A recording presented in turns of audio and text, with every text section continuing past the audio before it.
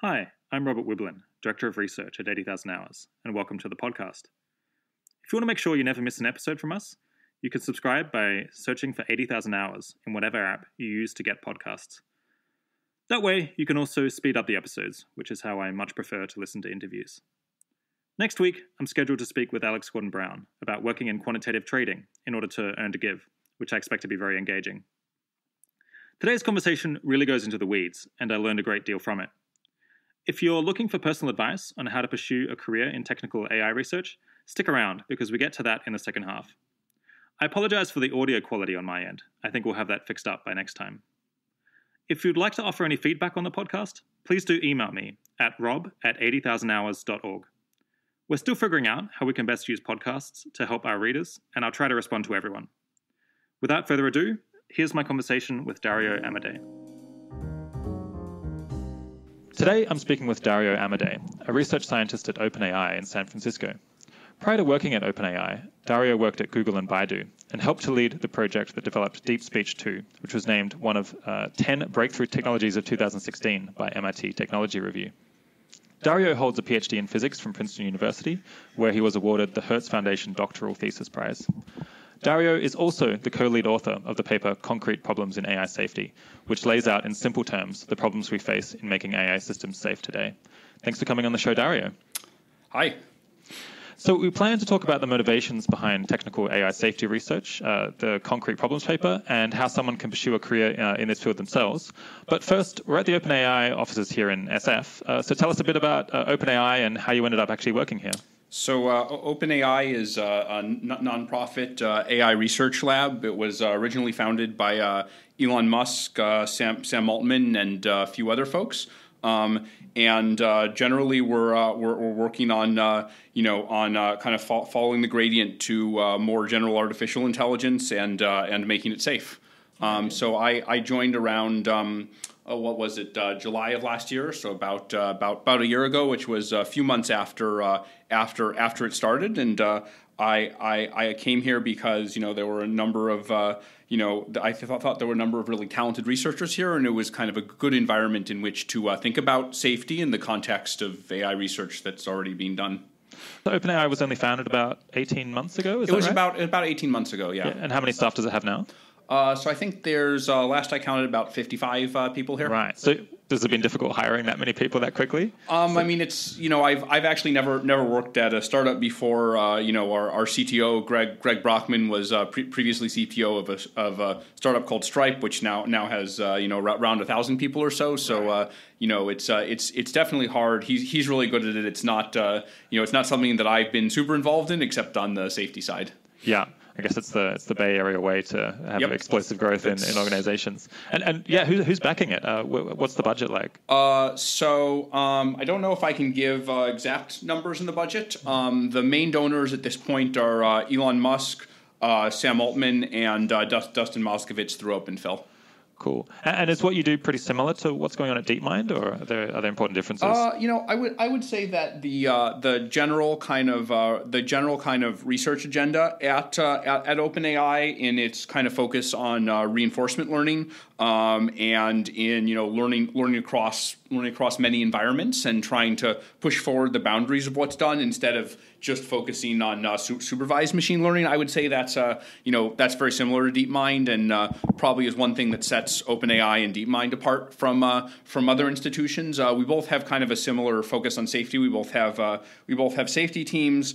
Um, you know, I would say o- OpenAI is kind of trying to be a, smaller a smaller organization that you know focuses on hiring just you know just the people that we want the most right, um, and and that's that's kind of been been uh, been uh, been one of the big differences. There's probably some differences in uh, in in culture as well that are a little bit little bit intangible and uh, and and hard to describe. But I think I think generally our our, our view of uh, you know our view of how, how AI works and what, what to build in, in, in, in AI and uh, and the focus on safety are actually pretty similar between the two organizations. Okay, you studied physics, right? You did a PhD in physics.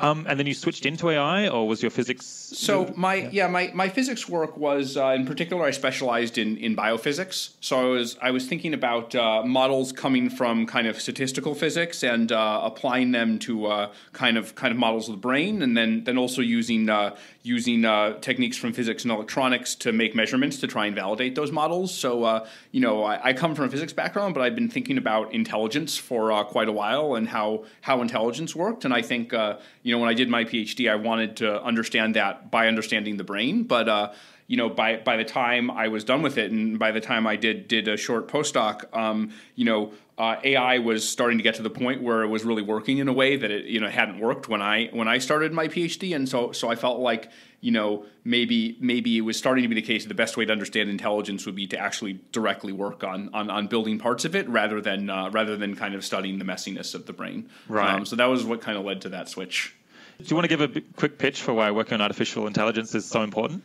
Yeah, I mean, you know, I think um, you know you can you can give you know kind of the standard standard arguments that that a lot of people are familiar with, which is that you know if you think about any technology that um, you know that that humans have created. Uh, what's allowed us to create that technology, you know, san- sanitation, flight, um, medicine, you know, Im- improve, improvements in improvements in human health, you know, improvements in, in ability to, uh, to to feed the world.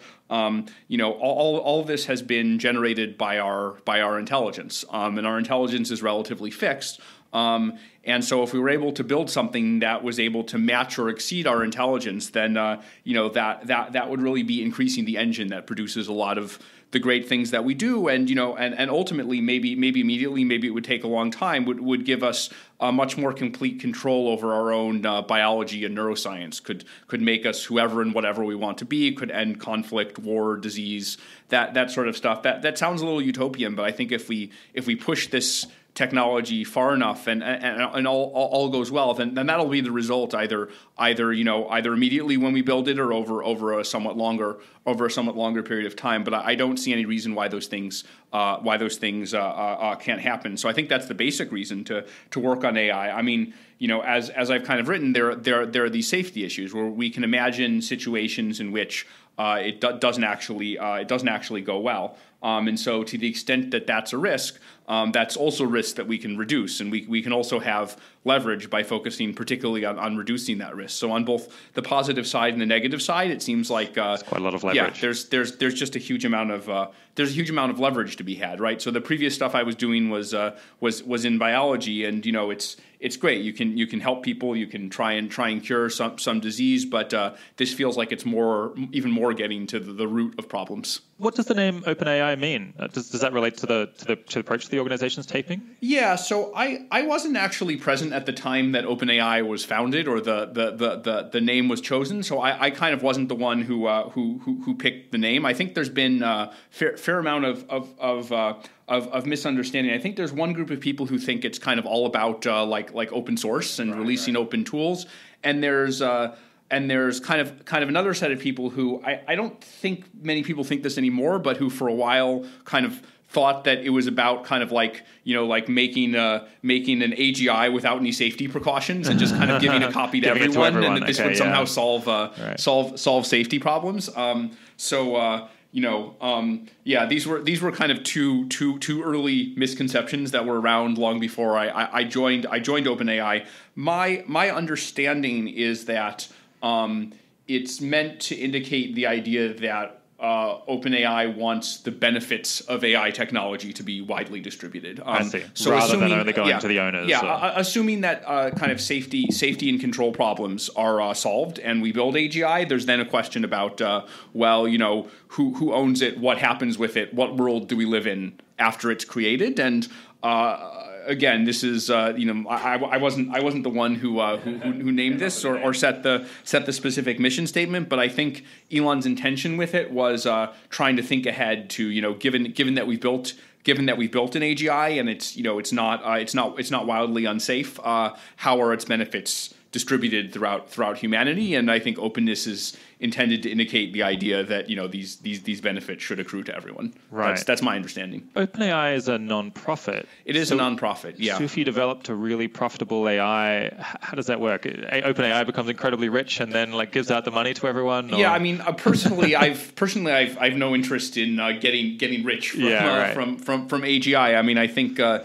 it would do so many interesting and, and wonderful things to for, to humanity that uh, you know I, I'm I think. The, yeah, the the, the, the, the, the, me- the meaning of money would, would, would, would, would change quite a lot, and, and even maybe the psychological motivations that would want me to get get, get a larger share are, are, are things I could change and, and might want to change. Um, So uh, you know, uh, in, in you know, right like in in, in in in many ways like you know shares shares in terms of money are maybe not not the right way to think about it but i think uh, you know there's there's all kinds of stuff that could happen when when when agi happens and so some of the things i some of the things i think about are you know where where where that could where that could go or what that could mean and you know the the summary is we don't we don't we don't know very much because it's it's something we haven't done yet so a lot of it's uh, a lot of it's speculation What do you research here at OpenAI? Um, so uh, I'm I mainly work on um, safety. So uh, you know we have uh, we have a safety team that so far uh, myself and uh, Paul Paul Christiano. So uh, Paul was a co-author of mine on the concrete problems paper and. Um, you know, has has also written a lot um, online on his blog about about AI alignment. Is pro- probably one of one of the people who's you know I think I think I think you know done, done the most to uh, to you know kind of promote clear thinking about the problem and tie it tie it to cur- current AI. We have a third person joining in a few weeks who I'm who, who I'm super excited about.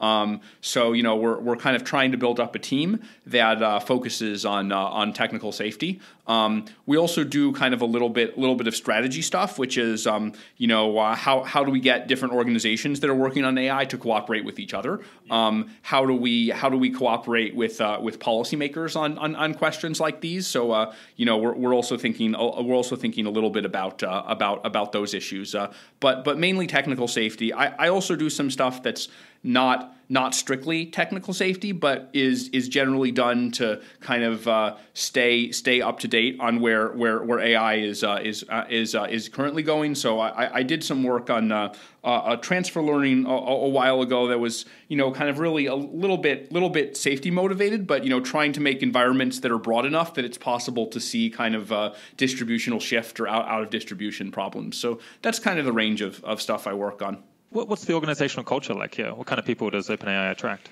Yeah, I mean, I think we've generally been very selective in uh, who who we pick. So I think uh, generally it's uh, it's people who um, you know are uh, are are very kind of very very talented machine learning researchers. Um, but you know, but but also people who you know, I, I would say not not everyone, but a large large fraction of people here, you know, really really really do think in terms of eventually getting to to to AGI. Um, and uh, you know, and and, and and at least some people, uh, you know, a significant fraction are you know quite quite interested in, or at least at least supportive of uh, you know safety work related to that or related to what to what we do now. There's kind of a wide wide range of beliefs on you know how how, how to work on safety, how possible it is to work on safety from our from our from our current uh, from our current uh, vantage point. So there's kind of a wide uh, distribution of views, but broadly people are pretty supportive. Right. And OpenAI recently moved away from software development. Is that right? to, to more focus on machine learning. So that's not not quite right. It, it's more we. So I think what you're referring to is we had a project called uh, Universe. Um, which actually I was somewhat involved in on the machine learning side. And the idea of that project was to uh, make a lot of environments that agents could learn using. Um, and uh, the, the way we did this was using something called the VNC protocol to connect to kind of to connect directly to a browser through pixels. And so that would allow you to play kind of thousands of Flash games and navigate web tasks. Um, it, it turned out to be the case. So, so I was actually really excited about this because I saw it as a test bed to study safety, right? If you have 100 Flash racing games, you can train the agent on one Flash racing game and then see how it behaves badly when you transfer it to another Flash racing game. You can kind of study some of these open world uh, problems where an agent has a very wide space to explore and a wide range of actions it could take. And so this is one thing that uh, ML researchers have been working on is teaching computers to play computer games really well. Yeah, uh, yeah. This is this like is superhuman level. Yeah, this is this is so DeepMind has has worked on this with Atari games, and so we were kind of taking it to another level with you know with kind of any any game you can find you can find on the internet. Um, so this this ended up being a project that I think could could probably be described as uh, a little bit ahead of its time. Okay. Um, so um, you know, uh, it turned out that in order to connect this way, we needed all the different workers who were applying the R algorithm to be asynchronous with one another, and for reasons that were kind of complicated, and we only only figured out uh, uh, we, we only figured out later. Um, actually, such asynchronous communication was really hard to make it play well with ML, um, and it it it, uh, it led to a lot of complexity. Um, so we're uh, you know we're to some extent de-emphasizing that project now, but um, we've uh, we're kind of you know we're, actually trying to move to doing the same thing with more more synchronous environments. Um, so so basically, kind of the the same idea, but uh, you know, but more um, you know more more in a way that's uh, more amenable to, to ML benchmarking and to, to measuring how, how well we're doing and doesn't have this kind of hard to interact with property. So it's it's more kind of like we we made a tool and uh, you know it was a good first attempt at, at something ambitious, but it, it, wasn't it wasn't quite the right tool. So so now we're working on you know kind of changing it to a version to a version that's better. Um, you know, I wouldn't say we've gone gone away from uh, software engineering so much as uh, we've been experimenting with how with how to produce tools, and uh, it takes a few iterations to get that right. Okay.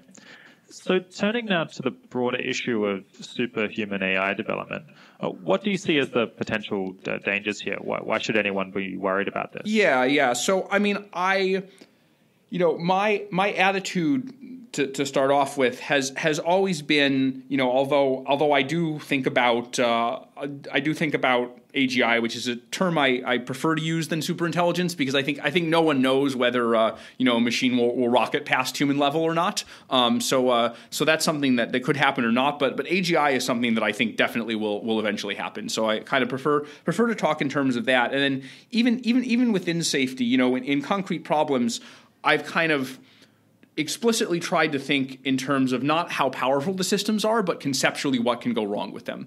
So the same kind of thing could go wrong with an AGI as could go wrong with, um, you know, a, a, very simple agent uh, playing a video game or robot cleaning your house, right? If it if it has the wrong if it has the wrong objective function, if you don't specify its goal correctly, it can do something unpredictable and therefore dangerous.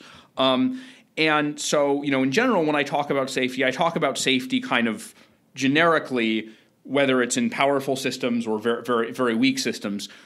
That all that said, with respect to powerful systems in particular, I mean, I think there there is a possibility that if we either do a bad job specifying the goals of complex systems or just they're unreliable in the way that self-driving cars are unreliable. Um, you know, a, a self-driving car has to have a very high standard of safety in, in order to you know trust it to drive on the road right? For for almost a decade now we've had self-driving cars that are 99.9% safe but that's not enough. We need them 99.999% safe. Um, and so with AGI which is something that you know it, it's going to take a lot more novel strategies than self-driving cars. The space in which it operates is a lot broader than self-driving cars if you just transpose that kind of safety testing from you know self self driving cars to, to to to general intelligence, then kind of even with all the controls you put on and even with all the safety standards, it's clear that kind of at, at the very least we're going to have a, a, big challenge in making sure that something doesn't go wrong.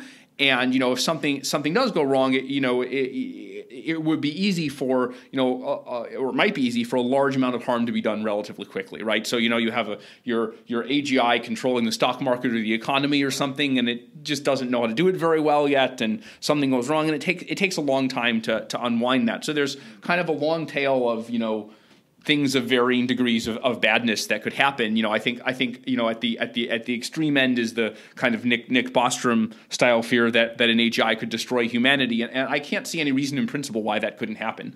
Um, if it was sufficiently if, if, powerful yeah, if, or sufficiently good at was, accomplishing its goals, it was sufficiently powerful, and uh, you know like safety had been handled sufficiently badly, um, that is that's definitely something that that can happen. Um, you know, so you know, it's. I think there are folks at places like MIRI who say that this is the default outcome, or this is, uh, you know, like like you know, really really likely to happen, or there's almost no way to avoid it, or you have to solve some incredibly hard math problem to avoid it. I, I don't generally agree with uh, with with any of those things, but I think I think this is a, a possible outcome, and uh, at the very least, as as a tail risk, we should uh, we should we should take it seriously. Um, I think uh, you know an, another thing. Another thing I'm worried about is that uh, you know the the the wrong. Even if we manage to make a superhuman a- AI safe or, or, or, an AGI safe, then uh, you know the it might it might be used for the wrong ends. Um, by, deliberately, by, yeah, yeah, deliberately used for the wrong ends by you know by by a disturbed individual or, or an organization whose views are not aligned with humanity or nation state whose views are not not not aligned with humanity. So that that's in my mind the range of risks. Right. Um, so, do you think there's much of a chance that the that the risks are being overblown here, and uh, in fact, we're just going to end up delaying something that could be incredibly useful and make life a lot better? So, I mean, you know, I you know, it, it may it may very well turn out. Maybe it's more than fifty percent chance that uh, as we get closer and closer to AGI, then uh, you know, kind of it it becomes kind of clearer how to make something safe. Maybe it's just like you know the goals are specified in a way that's that's kind of very very cordoned off from uh, from the tasks that are done. You know that that that we that there are certain you know problems of nature like you know scanning brains or something that we need AIs to do for us in, in, order to get you know in order to to, to gain control over our, our, our biology or control over resources. And, and then there are human values, and maybe there can be an efficient division of labor where there isn't much can, can, there isn't much confusion, or maybe safety problems are just a bunch of research and machine. They're just a corner of machine learning research where we haven't we haven't done much yet, and so we haven't tried. And so you know, I can I can think of lots of ways, and maybe it's even the most probable way where things turn out totally fine. Um, yeah. But you know, I wouldn't. You, I wouldn't want to count on it. Yeah, I, I, wouldn't in any of those worlds say the risk was was was overblown, right? So you know, it's like. Um, you know, uh, suppose suppose you have a fire alarm and someone's cooking a barbecue and you know it's it's smoke and uh, you know you wouldn't you wouldn't call like installing the firearm overblown, right? It's right. just sometimes you'll have a fire and sometimes you won't. Um, but uh, you know, like installing the installing the firearm is the right the right the right course of action. So yeah, I, I think of this I think of this as a as a precaution and uh, you know, I don't really think of it. I don't think of anything I do as slowing down the rate of of, of AI progress, or at least I'm not trying to do that. Right. Um, you know, I, I think of it as uh, broadening the scope of AI progress and thinking about AI in a more kind of interaction and, and human centered way. If you know, if if anything, maybe it accelerates progress a little bit, although that's probably probably probably a minor effect. But uh, you know, if if uh, if if people are worried about progress being slowed down, I I don't believe anything I do is doing that. It's causing that. Yeah. yeah.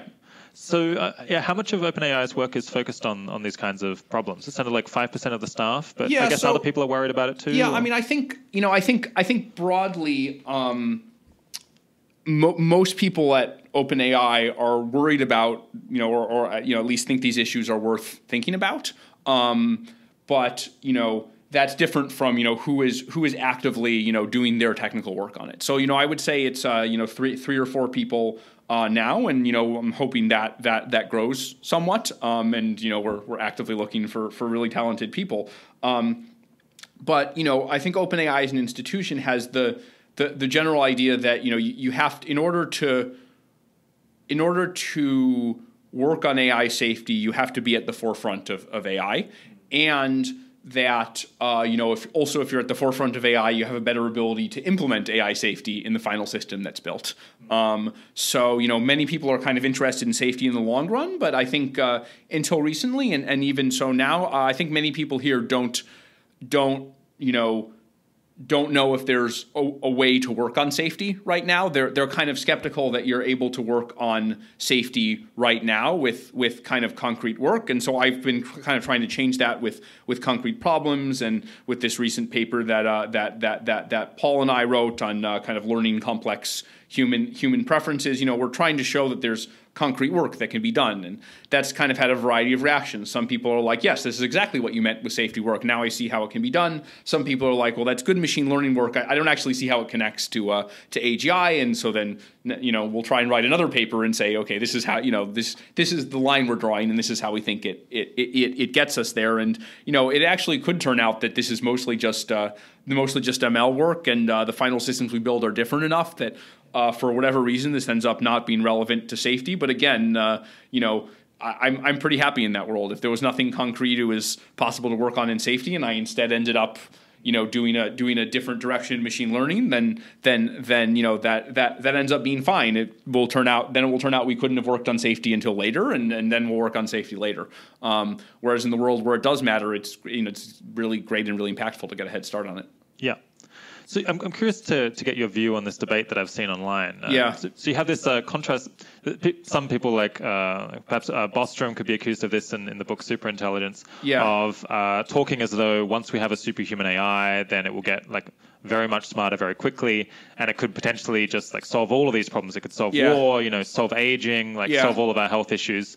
Um, was, but I've seen some people criticizing this online, saying uh, you just think this because you're a bunch of nerds and you think that uh, that thinking is the way to is to way is the way to change the world, the way that everything gets done. But it's, but it's not going to be so simple. Even if you had a very intelligent machine, it wouldn't necessarily be able to solve those problems. Do you have, do you have a view on that debate? Yeah, I mean, I think I, I I'd actually so I think yeah, not quite. I, I'd rephrase the debate a little bit. Um, to I think there's an interesting technical question of like let's say I built an artificial general intelligence tomorrow, and because it's software, let's say I made a hundred thousand of them. You know, how much does that fundamentally change our our society and our technological capability. Mm. Um, so you know, a, a, a, lot of it is just you know you can look at individuals throughout throughout history that you know that managed to discover a lot more than than, than other other other individuals, right? Mm. You know, you look at you know you look at you know von uh, Neumann, yeah, von, von you know von von, von Neumann or uh, you know or, or, or Einstein or, or, or one of these figures who just you know managed to be leaps and bounds ahead of others. And the question is like, what's what's the ceiling on that? Um, you yeah. know, if we if we um, if we um, you know invented AGI tomorrow, would it take like a couple days to scan all of our brains into into you know into software, up, upgrade us, give us indefinite life extension, or you know would it just be kind of like oh it's it's you know it's it's it's more humans to talk to,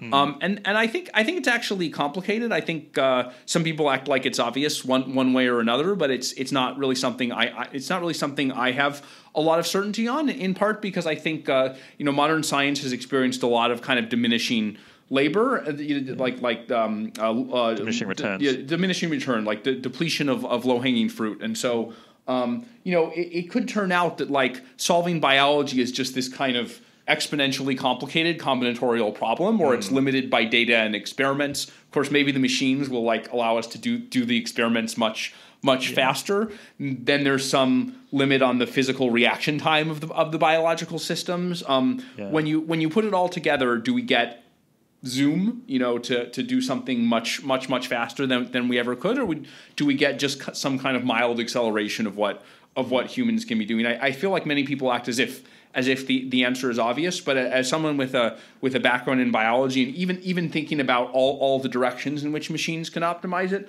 my my guess is machines could probably make things happen pretty fast. But uh, yeah. I think there's huge uncertainty here, and uh, I don't really think anyone knows what they're talking about on this question. Yeah, because my background is in, in is in economics, and I and I imagine. Yeah if you had an incredibly smart AI and it was trying to figure out macroeconomics, like understand understand yeah. recessions and, and, and booms and bust cycle, uh, I suppose it could have like lots of conceptual breakthroughs, but you can only take the measurements so quickly, and you can't yeah. really run experiments. So it could end up being that you know the, the, processing of the data that we get is extremely good and very fast, but then then the data only co- comes in so quickly, so, and there's only so, so much so you can fast. actually learn. There's there's some subtle stuff which is like I wouldn't be surprised if, for example, a really powerful AI wouldn't be able to understand our macroeconomic systems because of this data issue, but it, it would be able to design a better ac- macroeconomic right, system right. from first. Per- so it's it's weird. There's there's some stuff I feel like you know you just you just redesign it and you can do it much better. And there's uh there's there's other stuff that um you know that that it, it's just it's just really difficult. So I, I find this puzzling, and I, I don't I don't really have fairly agnostic. Yeah, I, I'm pretty agnostic on it, and I, I don't really. I, don't really have a good answer on the kind of like nerds think think AI can solve solve everything uh, uh, question. I mean, I think uh, there are some deep set problems in uh, in, in human nature, um, but um, you know, and, and, and so you know, just just uh, solving resource constraints isn't isn't going to solve war. We've you know mm. probably in some ways already solved solved solved resource constraints. Um, but uh, you know maybe uh, maybe maybe having having true AGI will allow us to redefine what it what it means to be human, and and will will ultimately uh, elevate we'll, ourselves we'll, above yeah conflict, we'll, we'll ultimately we'll, we'll, we'll we'll elevate ourselves above our petty human bickering, or maybe the petty human bickering perhaps the reverse. Will, prevent us from being able to right. to elevate elevate ourselves, so so we'll, we'll be stuck. So I, I don't know I don't know about that either. Superhuman yeah. levels of petty yeah. bickering, perhaps. Yeah, yeah. I, I, I, I don't I don't actually know. It's it's it's actually very hard to know. Yeah. Uh, so we've talked, uh, well, we've mentioned a few times this paper, Concrete Problems in AI Safety. So, yeah. so let's dive into that. Uh, but before we uh, discuss those problems, uh, what was your impetus for writing it? So, I mean, you know, I kind of had been aware of the work of the AI safety community for, for, for a while, but had, you know, had, had in general felt that um, I wasn't particularly happy with the way they were phrasing things. Uh, it, it didn't seem like what they were describing was was actionable, and there wasn't a lot of tie to like you know, AGI was generally discussed in these very abstract terms as, you know, ha- like have, having a utility function and kind of having incentives to do this or that. And, uh, you know, discussing things at these very abstract level, I couldn't help but feel that there were a lot of implicit assumptions that were not really being discussed.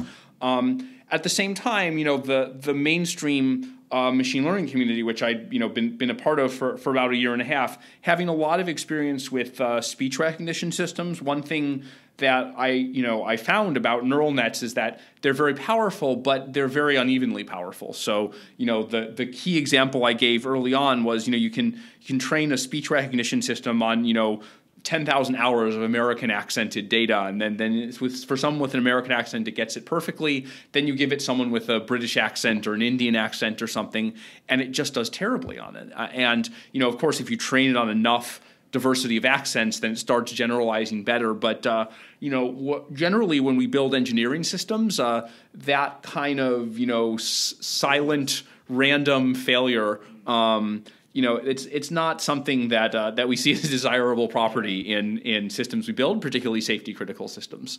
Um, so you know, the the idea that uh, you know fixing those kind of problems was was not just kind of a, a, a one by one thing where we're like, oh, we're using a neural net again in a self driving car, a statistical test for everything we can get, or you know, we're, we're, we're using a neural net now in a in a drone. Let's let's make sure it doesn't shoot someone that you know.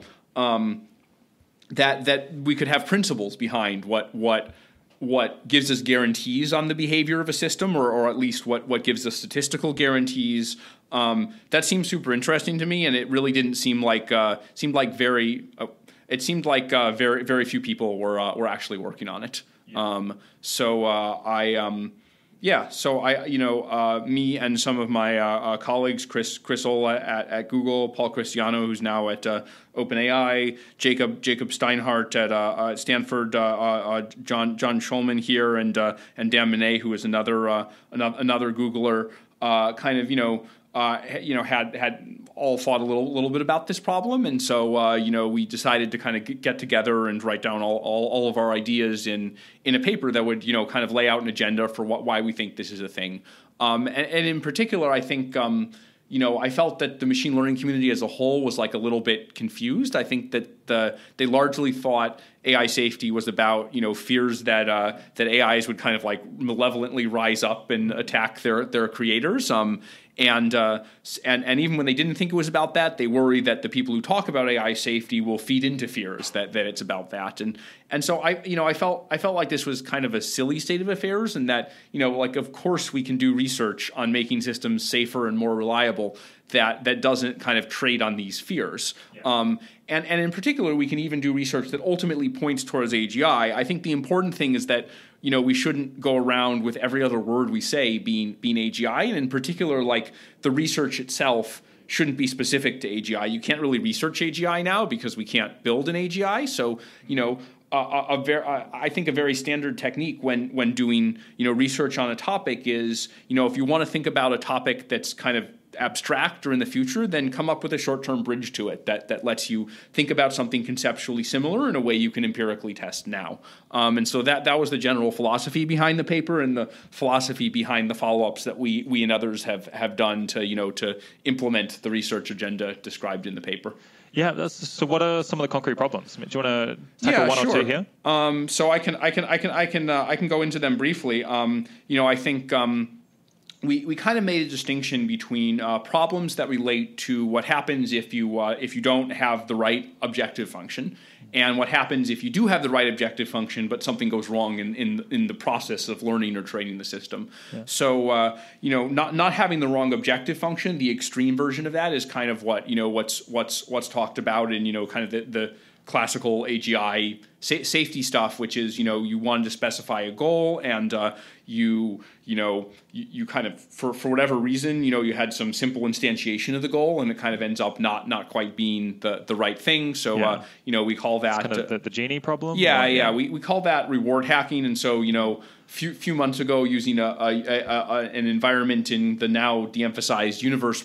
Uh, um, uh, uh, program, uh, I had kind of an example of like a boat race where uh, you know the boat's supposed to uh, the boat's supposed to uh, you know go around and do a few laps, mm. um, and you know what it's trying to do is finish the race as, as fast as possible. Yeah. But you know the only way it's able to get points, and you kind of can't change this because it's the way the the game is programmed, is you know you kind of you get points as you pass targets along the right. way. But it turns out there's this little lagoon with all these targets, and the targets also give you turbos, so they make you go faster and faster. Oh. So you can just loop around in this little little tiny lagoon and not finish the race. And so right. so it's like uh, you know, in one sense, you shouldn't be surprised. It's the correct solution. It's how you get the yeah. most points. But the idea is that uh, you know the the mapping from well, this is the reward function to this is the behavior that it leads to. It's a very twisted mapping. Yeah. And so the point is that it's, it's not what we yeah, would have intended it for it to it's be not what, what, you would have intended it to be. So the the the the, the lesson of that is that it, it's it's very easy to make small changes in the in the reward space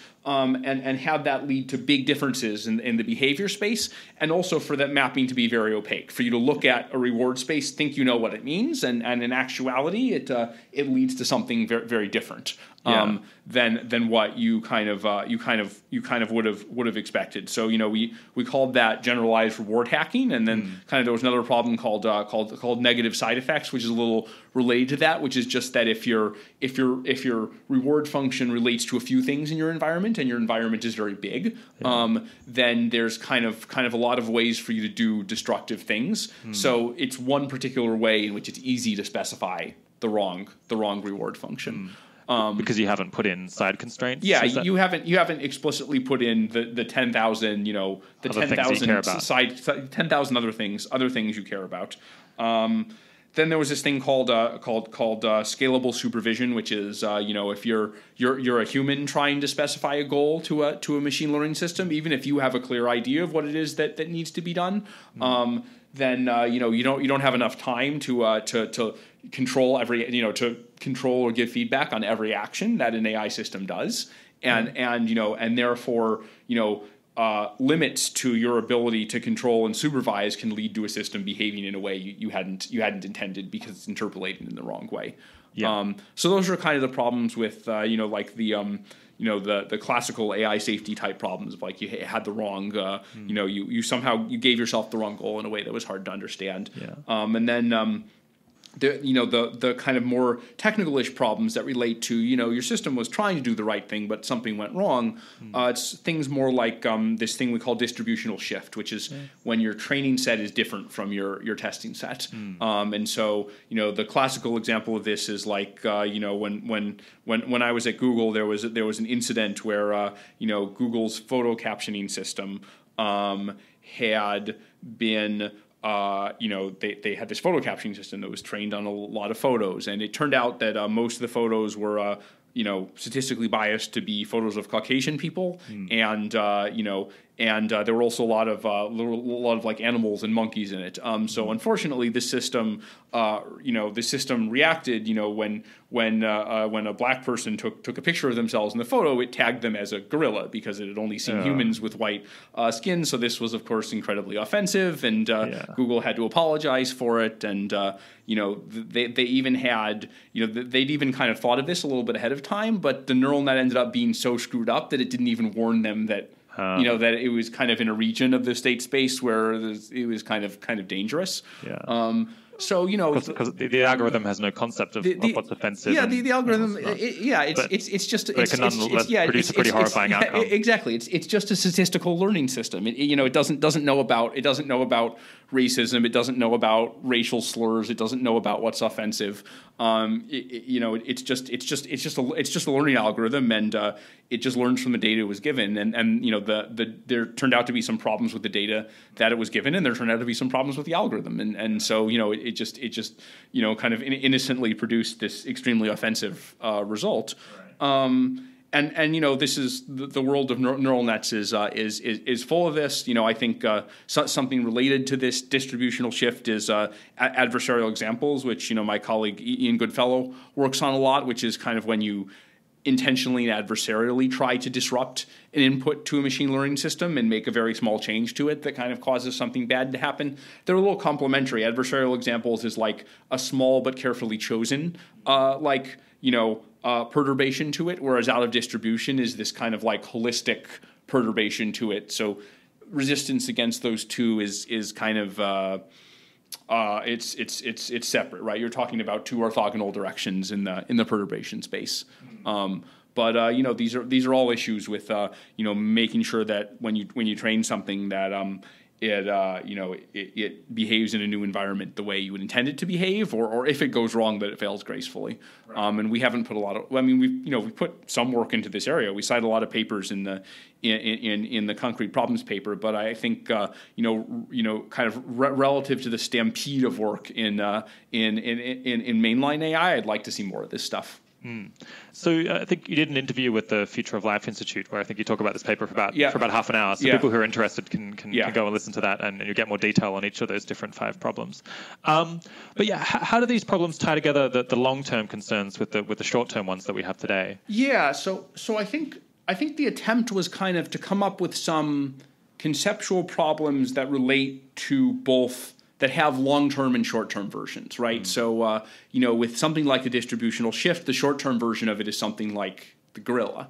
Yeah. Um, the long-term version would be something like, well, I've you know I've trained an AGI in a simulation, and then I put it in the real world, and a lot of things are different. So, does it does it break a lot of stuff? without meaning to. Yeah. Um, and you know the super intelligent version of it is you know it's like whatever it's, same, like but more extreme. It's more the same but more extreme. It's building a Dyson sphere. It's never built a Dyson sphere before. Like something go wrong? Um, you know just whatever whatever outlandish thing you can think of. Mm. Um, so um, you know I think I think I think the point and the explicit strategy was that uh, you know people often kind of contrast long term versus short term approaches as if working on short term safety and long term safety are like different topics and like they trade off against each other. Mm. What, what I'd rather do is have a thread running from long term to short term things mm. where you kind of you kind of identify what the fundamental problems are, right? And then then you work on them on on short term problems. And then as the systems get more powerful, you update your techniques, and okay. it, it, creates this kind of more symbiotic where you're following yeah. along. You know, I think safety shouldn't be anything different from reinforcement learning, right? Reinforcement learning is a general paradigm for learning systems. You can use it to do something as simple as walk across a, gl- a grid, all the way up to playing Go, all the way up to you know perhaps build you know building a building a system that's as, as intelligent as humans. probably wouldn't literally use reinforcement learning, but the you know the it's the reinforcement learning is a general paradigm that runs from things that are very simple to things that are very complicated. So I, I guess the idea was to to do the same thing for safety. Um, come up come up with some some general principles that will will will care will you know will, will carry across towards very powerful systems. Not and I wouldn't say these problems uh, you know tell you everything that could go wrong with powerful systems. I think there are almost certainly things that are very specific to powerful systems, but uh, you know, my my my general view is uh, I'm much less confident in our ability to identify those problems. Uh, maybe, maybe we can. Some people are trying, but uh, yeah. you know, let's uh, my my view is just uh, you know there's there's a lot there was uh, it seemed like there was a lot sitting on the table. Let's identify the problems we can identify. Let's work on them, and then uh, then then whatever whatever's left, we either have to work on them very late in the process, or uh, you know, or maybe so, someone can identify them. But uh, but that seems like the higher hanging fruit. Yeah. So so the hope is that in order to solve the long-term problems, you want to find cases that are similar today, where you can get feedback on whether it's actually helping. Yeah, yeah, yeah. exactly. I think that uh, I think that there's kind of a magic of uh, empiricism because uh, it's it's very easy to kind of engage in long chains of reasoning about uh, a, a, topic uh, that that kind of don't get tied back to, uh, to, to to reality. Of course, the risk of working on short term stuff is that it uh, it doesn't matter or it doesn't generalize, and so you know the compromise I've come up with is try and think of things that are conceptually general and then try them try to tie them into into empirics. Um, yeah. So to that end, has has OpenAI made any noticeable progress on, on these problems or, or other problems? Yeah. So um, you know, I think about about three weeks ago, uh, Paul Christiano and I and uh, Tom, Brown here and um, three people at, uh, at, at, at at DeepMind, uh, including uh, Jan Jan Leike, uh, Martin Miljic, and Shane Legg, um, came out with a paper called um, "Deep Deep Reinforcement Learning from Human Preferences." Um, so this kind of works on the reward hacking, scalable supervision side of things. So the, the way this paper works is, you know, normally you have a reinforcement learning algorithm. It has a goal or a reward function, and you, um, you know, the the agent acts to maximize that reward function. So this works pretty pretty well for you know for something like um, you know like chess or Go, where uh, the behaviors are incredibly complicated, but evaluating the goal is pretty easy, right? You know, with Go, it's like, you know, are you in a winning position? Do you have more territory? And with chess, it's have you checkmated the king or have you been checkmated?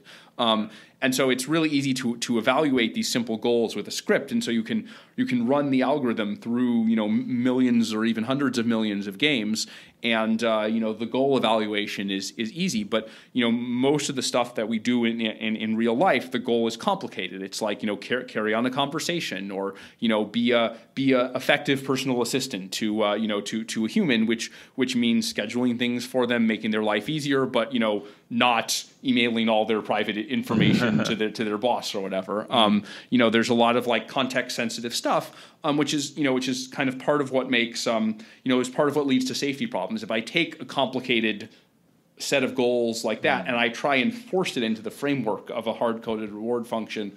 Um, it's going to lead to something that makes everyone unhappy. Yeah. Um, because you know it, it, just the two things don't don't fit together. I, you Is know, it that it's maximizing on one dimension and then fails on all of the others? Yeah, that, yeah, or or or just that the intrinsic number of bits of complexity in something like hold a good dialogue is is very high, and so if I try and program that in, I'm either going to be programming for a very long time, in which case I'll probably make an error, um, or if I try and make what I program simple, then uh, you know then it's you know it's it's there's just not going to be enough bits of information in it to fit the actual complex nature of the goal. So I, am either going to be very error prone or I'm just not going to be capable of learning what I what I need to learn.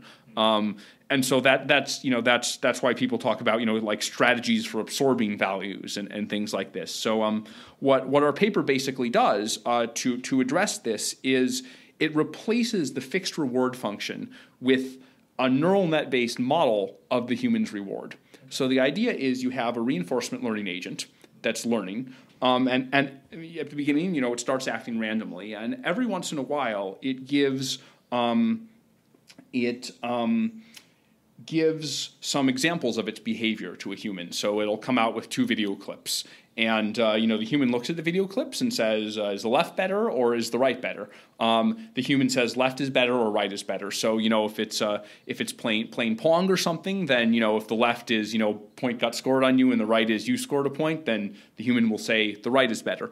Um, and then you know the the agent builds a model of what reward function would lie behind the human's expressed preferences. Um, so the reward function becomes something kind of implicit and learned, observed from from the human's behavior, and then the RL agent gets to work saying, "Yep, this is what I think the human's goal is."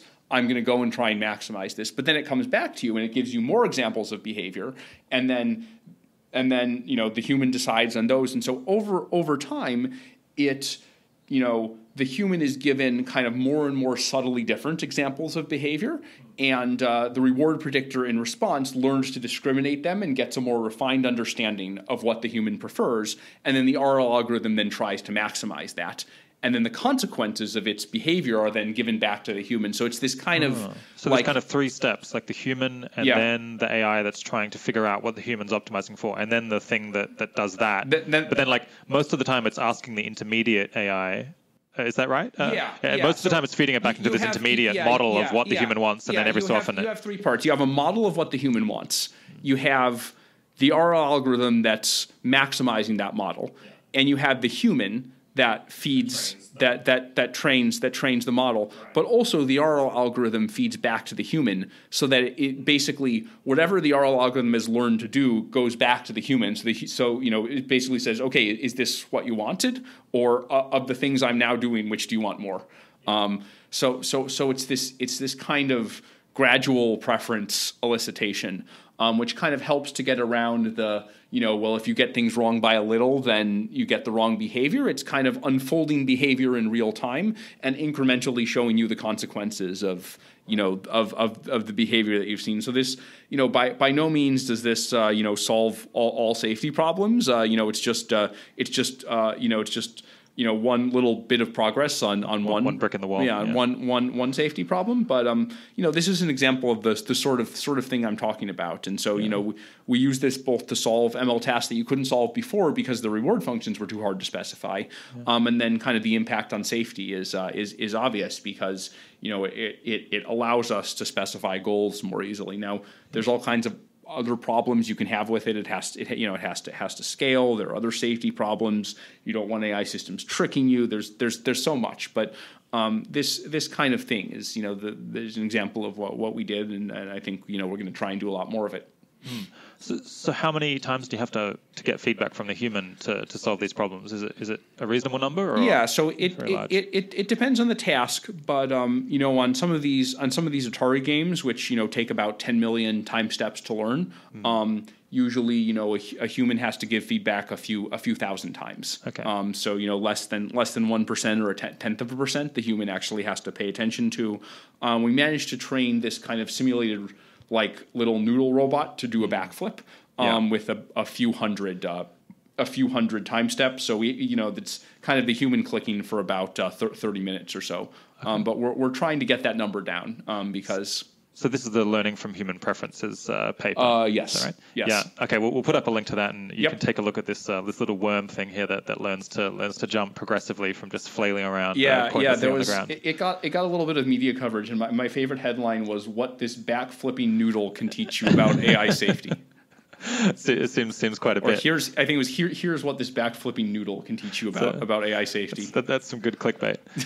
um, yeah. So, so so apart from those five issues that you talk about in the paper, what do you think are some other kind of important problems in the or open problems in the field? Yeah. Um, so one thing we didn't discuss in, in the paper is uh, uh, the issue of uh, uh, tra- transparency of neural nets. So this is kind of trying to figure out why a neural net does what it does, which you know you could eventually extend to why is a reinforcement learning system taking the actions it takes. Right. It, just kind of has a policy. It you know it's in a situation. It runs a bunch of things through its neural nets, and it says you know I'm going to move left or I'm going to bend my joint, and doesn't really have much explanation for what it does. So if we could explain why you know break down the decisions made by made by neural neural nets, then uh, you know that that could could help with feedback, could help with uh, making sure that systems do what we want them to do, and that they're not doing the right thing for the wrong reasons, which might mean they would do the wrong thing uh, in another circumstance. Yeah. Um, so uh, you know, I think that's a pretty pretty pretty important problem. Uh, my my co-author on the on the paper. Uh, uh, Chris Olah did a lot of work in that area with uh, a deep, deep dream, which is you know just kind of like all the all the back propagated images generated by neural nets. That was originally designed to be a way to uh, to um, uh, visualize what maximally activates a given neuron within within a neural net. Ah, um, right. so it was it was initially a transparency technique, and uh, and uh, you know so so that's an area that uh, that that Chris is very excited about. So that that's another area I think we should work on. I mentioned before adversarial examples. I think that's uh, I think that's an area it's already getting a, a decent amount amount of attention, but pro- probably should get more. Like everything in safety should get more. Um, so you know I think I think that's that's an area we should work on, and, and also that has uh, like short term safety implications. Like uh, you know so you, you, someone could like you know sabotage a self driving car with uh, adversarial examples, and we, cer- we certainly wouldn't want that. we to can't happen. have that. Yeah. Yeah. Um, Interesting. So, so is that a problem for the rollout of of uh, self-driving cars now? That someone might put up a, a, a I'm- road sign that I'm- confuses them? I'm I'm not I'm not the expert on it, and I, I I definitely don't want to give anyone any ideas about how to Right. how, how, how to do that. I've yeah. I've, I've, I've, I mean, no I guess idea. it would, it would certainly end up being Yeah. criminal, I would think, yeah, to do that I- in the well, same I- way as yeah, uh, it- hacking a computer no, system. It'd be, uh, right. Yeah. It'd be, it'd be it'd be it'd be extremely it'd be extremely legal. So I don't I don't actually know the details of whether whether that's Yeah. that's feasible or not, and, and wouldn't discuss them if I did. Of course, yeah. Um, so as we as we progressively work towards being able to control, uh, you know, uh, yeah, AIs that we're developing, do, do you think it's going to be possible for people to, to understand the solutions that we've developed? So, so here you've, you've discussed this like three step process by Yeah. which you like train the, the, Yeah. the machine or a reinforcement learning algorithm to understand the humans, and then that trains the, the machine learning algorithm on the other side. Yeah. Um, so I can I can kind of understand that. And there's other like big breakthroughs in history that like you can kind of get like you know quantum Yep. physics, like it's a particle and half a wave, and Yep. and Yep. broadly you can grasp it. Do, do you think it's going to look like that, or will it just be like impossible technical the, the, details? the AI that- itself or the safety? I guess the, the, the, the way that we're going to get uh, machine learning or like other AI technologies to do what we want rather than, than, than flip out in some way we don't expect. I mean, I I guess there's two possible questions. One is, are we going to understand at a very granular level every decision that's made? Um, and then there's, are we going to understand the principles by which the system operates? Um, I think we better understand the principles by which the system operates. If we if we don't understand those, I, I don't know how we can build them. And if we did build them, I would definitely worry about their safety. Um, so so I think it's it's realistic to understand the basic principles on which something is built. Um, but then there's the question of on what level of abstraction do we do we understand it? Right, the principles on which uh, you know a visual neural net are built are, are, are very simple. It's you know back, back propagation and alternating linear and nonlinear components. Um, that's pretty much all, all there is to understand. Um, so then the question is, you know, how much do we know about what goes on inside the neural net? And that's kind of the question of transparency. So I'm, I'm optimistic that we'll gain a better understanding of transparency inside neural nets. And then the question is, how does that actually help us on safety? How do we actually use it? There's a lot going on inside neural nets. Even if we could individually understand every piece of them, uh, how does that actually how does that actually help us? There's more units than I can you know that I can read and, and, and understand. So I have to have some way of transducing that into something actionable, like correcting bad behaviors or something. So so somehow that component of it has to fall into place as well. And uh, I don't know yet how that's going to happen. Uh, I don't I don't I don't know if it's possible, but uh, I think it's uh, it's urgently important research area. Yeah. All right. So so let's turn now to how someone might be actual, uh, actually able to pursue a career in, in AI safety. Uh, what are the natural paths to, to getting a job at OpenAI or, or other similar organizations? Yeah, so so I think my my advice is going to be you know focused on you know uh, kind of the kind of AI safety work that I'm excited about. So, for example, you know, MIRI does some safety work that's kind of more based on you know mathematics and, and formal logic. Um, and uh, so, you know, you, if you wanted to do that, you'd need uh, kind of kind of different background. But uh, the safety work that that I'm I'm most excited about, I think, you know, just you know it sounds obvious but the the two things you most need are you know I- an extremely strong background in machine learning um, and uh, you know a real deep deep interest in uh, in, in in in AI safety um, you know I think uh, to break those down I think the first one is you know certainly at OpenAI, you know, we really try hard to, you know, to have a really high bar for, for hiring people. So, Yeah. um, you know, uh, you know, just because someone wants to work on safety doesn't mean that we, you know, lower the machine machine learning bar, you know, at all. We have a lot of people here who are who are very good. So, you know, going to uh, you know get a PhD in in, in, in, in in machine learning, going going going to get a PhD with you know you know trying to work with the be- the best people you can work with, do the most bra- groundbreaking work you can do. There's there's kind of you know no no no ceiling to you know to, to how, how much of this um, you know helps. Um, you know my my sense has been that people who have a deeper understanding of machine learning, um, if they're interested in AI safety, also also tend to really grasp grasp the AI safety issues. Yeah. Um, uh, uh, uh, better, provided they think about them, and that's that's the second component, which is you know I, I want people who really have a deep interest in uh, in safety, not just you know oh you know oh you know it, w- it would be good if uh, if systems you know didn't didn't you know if it would be good if self driving cars didn't crash, but have have kind of a broad view of uh, you know where, where we're going with with AI, which could be totally different from my vision. Might might not involve it might not involve AGI, but uh, this general idea that we want to build machines that uh, that do what humans want and and carry out the human will. Um, I think that. Um, you know, I think that idea is. Uh, is is is is is a broad one, and I, I want people working on safety to have a broad broad view of that issue. So you know, in the in the EA community, I don't think the second second one is is is is is is lacking. There are many people who are passionate about the second one. So I think I think the limiting factor is just very strong machine learning talent. Right.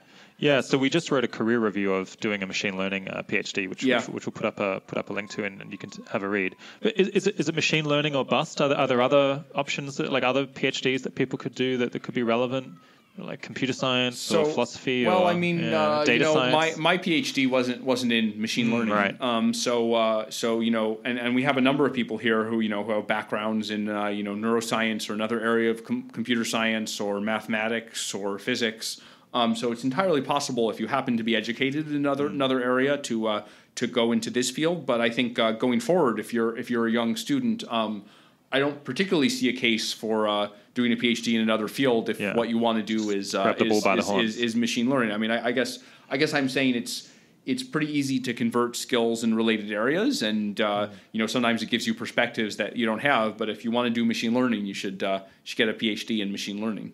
Um, uh, you know, I think another thing I'd add is, uh, you know, um, we do have some people working here who don't who don't have PhDs. Um, You know, my, my co-author Chris Olah actually never never even went to, to college. Right. Um, Wow. He, um, you know, he just he he he just straight he just straight went up to uh, went went to Google and um, you know uh, he you know he had to do, do a lot to prove himself. Right. The the level of, of technical ability you, you need to show is, is not lower. It's, it's even higher when you when you don't have the educational background. But it's it's totally possible. Um, uh, so you know, yeah, I would I would say the most important thing is just being able to do a lot of impressive and, and creative uh, creative machine machine learning work. Um, I would I would even go so far as to say it's not it's not my expertise, but uh, even even the people doing uh, safety work that doesn't involve machine learning, I get I get pretty nervous when they don't have a strong background in, in machine learning because even if they think that a machine learning system can't can't be made safe, they should they should know enough to understand why why they think that's the case and what they think the alternatives are.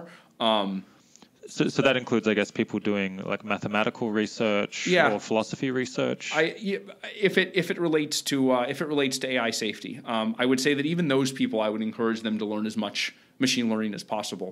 Um, if only because they should understand approaches that they're that they're critiquing. I- Is it fair to say that you think that the approach you're taking, where you, you study uh, machine learning and try to actually improve AGIs, is, is the best way to make AGI safe? That I mean, you'd, I- you'd rather see someone do that than go into these kind of other adjacent areas? You know, it's it's a little complicated because I think that as systems get more complicated, there may be ways in which we kind of combine neural nets with formal reasoning. So there's been been some work by um, uh, my my friend Je- Geoffrey Irving and, and some of his colleagues on um, uh, doing uh, theorem proving. Um, so uh, basically using neural nets to select the lemmas to be used for next theorem. So you know, if you take that far enough, you can imagine versions of um, you know reasoning systems that basically you know they traverse some well-defined reasoning graph um, and you know they make kind of logical conclusions that are tractable but it's all driven at the bottom by neur- neural nets driven kind of intuition where the neural nets decide what what conclusions you draw and, and where your thinking goes. And so i think this is how humans do symbolic tasks like uh, you know like physics or math or anything like that right? We're, we're neural nets at the bottom and then we have a layer on top of that that is is kind of we use those neural nets to represent symbolic reasoning. And computer could probably do that even better because it can make sure that it never makes a mistake in this in the symbolic reasoning um, that the symbolic reasoning engine is there. So you know you can imagine having formal guarantees on that kind of formal formal formal reasoning but i think I think when we get to that, it'll look different from the way things are currently de- being done. So uh, I'm, I'm really not against uh, for, using formal formal formal reasoning methods and, and, and, and using mathematics, but uh, I, I think it'll be possible to do that work more productively once we understand how it fits in with uh, with current systems. Um, I actually I actually don't know. Maybe the stuff that's being done now is uh, is uh, is is is is productive, but uh, I'm I'm pretty suspicious of anything where you can't get that tight empirical feedback loop because I think it's really easy for people to fool themselves. Okay, yeah. So it sounds like the, the key piece of advice is to do a PhD in machine learning. So um, where might what- like what universities can people go to? Like what supervisors can they have? Do you have any suggestions yeah. there? So so so so I, I do want to repeat again that uh, uh, it's you know there are ways not not to do a PhD, yeah. and uh, in, in, particular, you know, a number of people go to PhD for, for a year or two, and then uh, do an, do an internship here or a DeepMind or somewhere, and uh, you know then then then get hired. So even partial PhD can work. But uh, you know that said, I mean, you know, I think the usual suspects are places like uh, Stanford, Berkeley.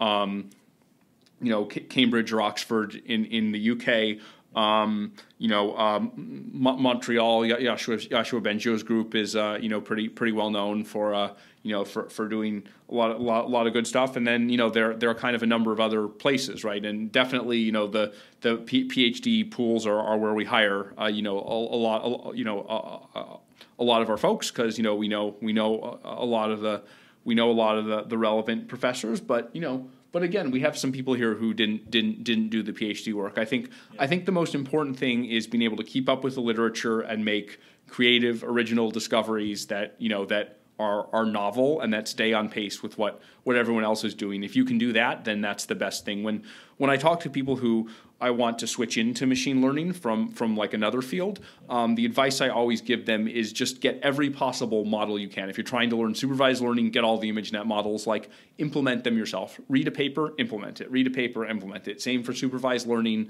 Same for generative models. You just kind of get this knack for it after you've done it for a while and it's it's really just kind of practical hands-on experience and you you just kind of get a you get a sense for these things once you've done them for a while yeah. um, and you also find out quickly how, how good you are yeah so uh, I might be uh, showing my naivety to, to ask this, but so I, I machine learning is kind of only one way that you can approach AI, right? There's like other paradigms of how you yeah, produce an artificial so intelligence. Yeah, right? yeah. This is this has historically been the case. It's it's gotten a little bit I think, complicated. Um, you know, in, in the old days, we had kind of things like expert systems that were based on kind of purely on logical reasoning.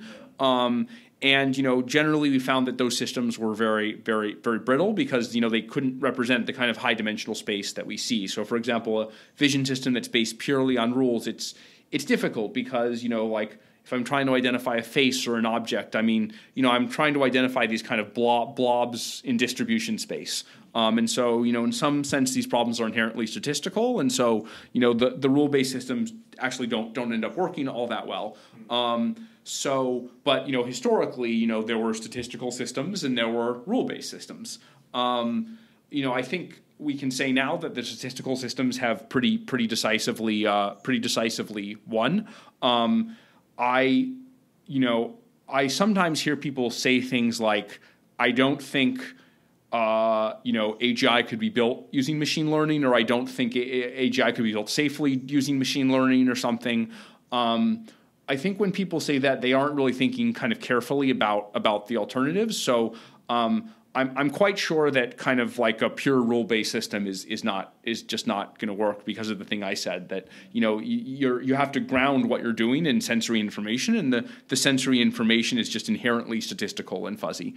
Um, so uh, you know pure rule-based systems i think are not going to work what could happen is the thing i described before where you have uh, machine learning systems you know deep deep neural nets being used to drive logical reasoning systems um, so that would be a hybrid of the two, but you know people are working that that that would be considered within the field of machine machine learning. So uh, you know I think um, we'll often in the future machine learning may include logical reasoning processes, but uh, you know they'll they'll be kind of they'll be kind of at a higher layer. Yeah. Um, and so you know what what ends up you know happening it, it will kind of involve reasoning in the same sense that a Go playing system involves Go, right? But uh, it won't really be like those rule based systems that that that that that we had before. Um, I mean, you can't be one hundred percent percent sure of this, but I think just the basic argument that like percepts are these statistical blobs and so you have to use a statistical system at least at the beginning to, to measure them and then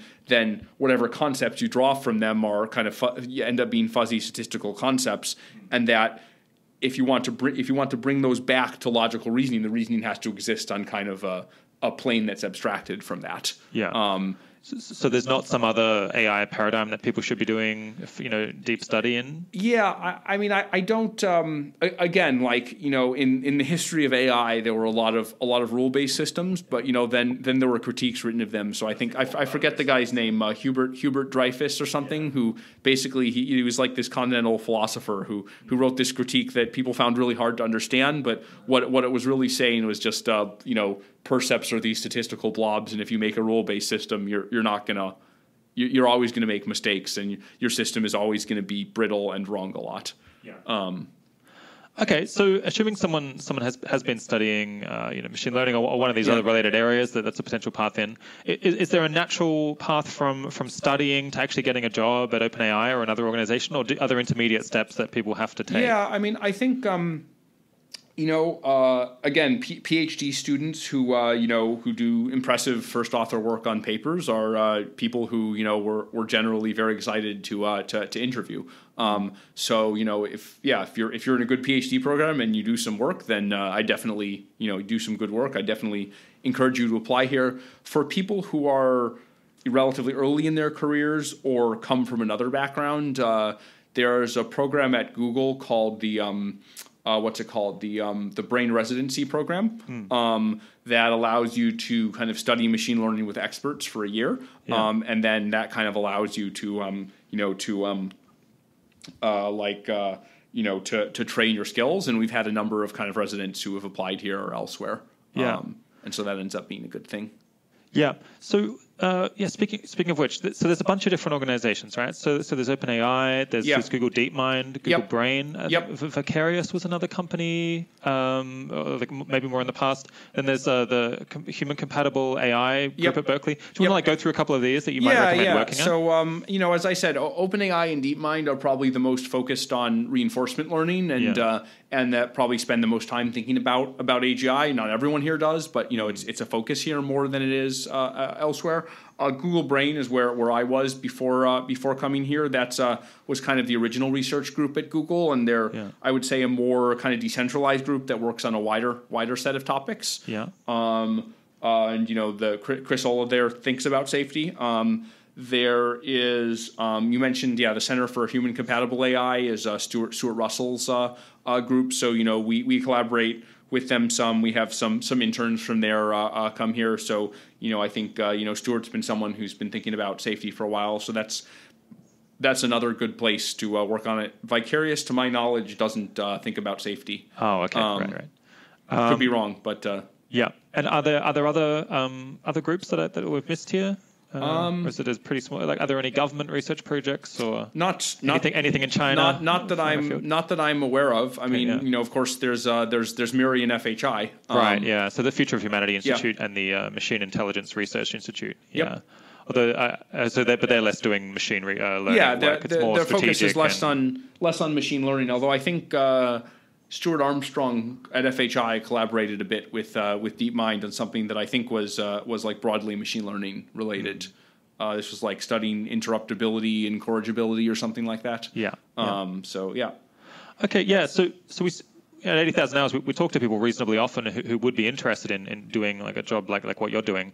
Is yeah. there is there any way that they can get indicators early on about whether whether that's possible or whether they're just kind of wasting their time and, and should look at other options because it's yeah. not going to be a good fit? You know, either they don't maybe have the you know machine learning chops or like culturally they're not going to be a good fit or something some other reason. So uh, I think I think the thing I mentioned about um, uh, implementing lots of models right. um, very, very, very quickly. Um, if you want to know whether whether you're good, um, a, a, way that is a good proxy for how well you'll do in, in, in, grad school, as well as for the tests we give when, when people apply here, is uh, you know find find a machine learning model um, that's described in, in a recent paper, uh, implement it, and try and get it to work quickly. Um, if this is a painful process for you and you, you really don't like doing it, then you aren't going to like uh, you know you aren't going to like any the research that, that we do either on AI safety or, or other or other uh, or other or other AI stuff.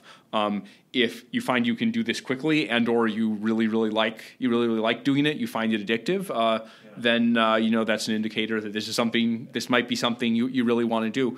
I wouldn't you know I wouldn't I wouldn't worry about the cultural stuff. Like if you're um, if you're skilled in this area and passionate about this area, then I, I don't think you'll have. I don't. Yeah, yeah. I, I don't think it'll be a barrier. I, I don't think. I don't think you'll have. Uh, I don't think you'll have any problems. We try and be as open and, and welcoming as, as we can. I mean, we don't.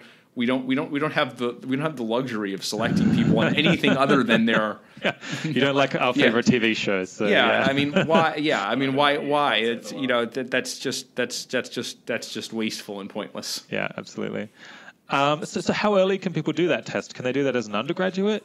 Uh, or is it, is it more like a PhD level thing? I I mean, people can do it in high school. Like uh, you know, um, if you know, if you meet a seventeen year old, or like, how do you get into machine learning? I'm like, just go home and implement these models. You know, you know, you actually don't need any kind of formal education. You probably need a thousand dollars to buy to buy a GPU. Yeah. Um, I have I, ha- I have kind of con- considered at various times, like you know, should we have like a like a, a, kind of like grant program where it's like you know if you're like 17 years old and you want to get into machine learning i'll just like buy you a gpu yeah. Yeah why not? Yeah. If you're interested in, in, ai safety i mean you know that thousand thousand dollars you know most most most you know uh, adults li- living in the developed world can can afford a thousand dollars but most 17 year olds might not be able to. So uh, yeah. you know if they don't already have access to one uh, you know m- might be a good way to get people started early. Yeah.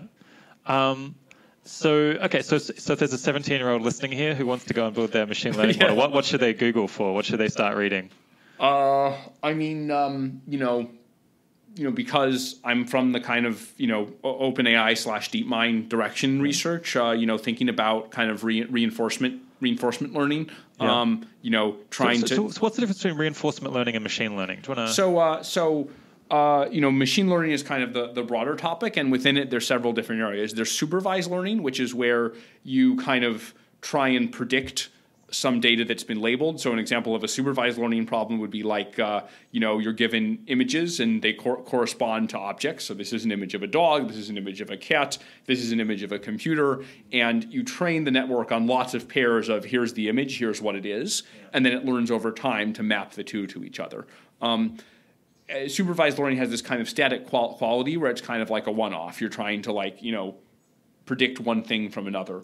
Reinforcement learning is is more a setup where you're uh, interacting in a more intertwined way with uh, an environment. So uh, you know, it, it's uh, the game of Go is like this: you make a move, and then you, the opponent or your environment makes a move, and then uh, you know, and then then you make a move again, and overall you're trying to win the game, and you know, the the the the reward or figuring out whether whether you've won the game or how well you're doing can be you know delayed by by a long time, um, and so the reason I focus a lot on reinforcement learning and you know why why OpenAI focuses a lot on it is that you know reinforcement learning and things things like it extended versions of reinforcement learning seem like a better fit for what intelligent agents do in general, right? Uh, you know, often uh, often I have very long range goals, right? I'm you know trying to get an education, trying trying to get a PhD, trying trying trying to have a career, you know, trying trying to start a family or something, and these are all things that unfold over uh, over years and involve interacting with my environment in this very very complicated way. Um, yeah.